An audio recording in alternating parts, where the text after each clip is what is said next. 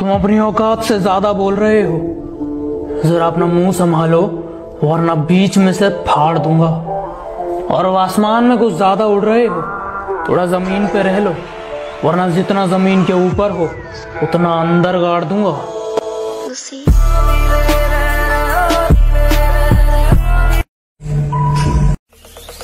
Zombie apocalypse.